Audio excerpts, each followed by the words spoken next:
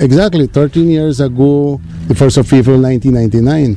Well, we actually we didn't cut it with fishing line. We, we strike it with a um, um, spear gun during the night.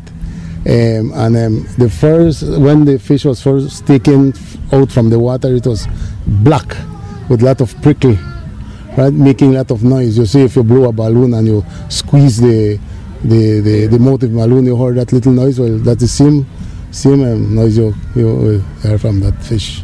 When you saw that fish, and it was something that you don't see common when you do your fishing. Um, what was the first thing that ran through your mind? According like how it was Holy Thursday, Friday, I thought it was a curse, right? According to the tradition. Well, the first thing that passed in my mind that it was a, a fish that contains um, plenty poison or or um, bad fish that kills the other fish. So um, I decided to well to preserve it, and uh, as you can see the fish, well we try to preserve it as much as we can, as we could, and we painted it with varnish to conserve the identity of the fish.